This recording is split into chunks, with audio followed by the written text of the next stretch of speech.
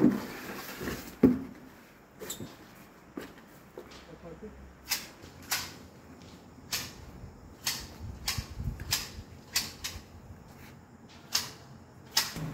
देखें माशाल्लाह जैसे इम्पोर्टेड की लुक होती है ना